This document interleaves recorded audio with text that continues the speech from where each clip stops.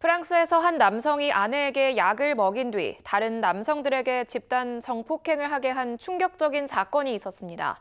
그런데 재판이 시작되자 피고 대부분이 발뺌하고 있어 성폭행 관련 법이 개정돼야 한다는 목소리가 커지고 있습니다. 윤서영 월드 리포터입니다.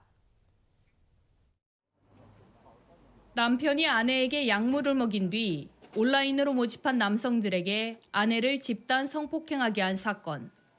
이 충격적인 사건의 재판이 지난 2일 시작됐습니다.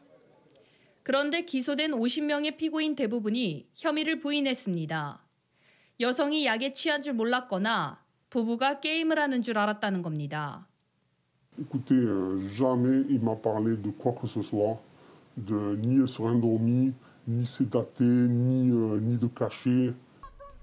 피고인들의 이런 태도는 사회적 공분을 불러일으키고 있습니다. 그러면서 성폭행 관련 법을 개정해야 한다는 목소리가 커지고 있습니다. 프랑스 현행 법상 성폭행은 가해자의 폭행과 협박이 있는 경우만 인정됩니다. 이 법을 고쳐 명확한 동의 없는 성관계도 성폭행에 포함해야 한다는 겁니다. Je pense que c'est même inadmissible parce que on, on voit bien les conséquences que, que ça a aujourd'hui et euh, je pense que c'est même une urgence ouais, qu'il faut, qu'il faut l'ajouter.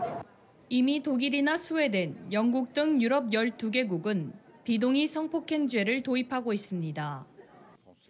2017년 미투 운동 촉발 당시 프랑스도 관련 논의가 있었지만 법 개정까지는 이루지 못했습니다. 하지만 이번 사건으로 법 개정에 대한 사회적 공감대가 커지며 30명이 넘는 의원들이 개정안 발의를 준비하고 있습니다. Alors que nous, on veut un peu inverser le paradigme et dire, en fait, il n'y a pas consentement tant que la personne ne s'est pas exprimée clairement, euh, de manière libre, éclairée, pour dire qu'elle était consentante. 프랑스에서는 성폭행을 당해도 증거 부족으로 신고하지 못하는 경우가 많습니다.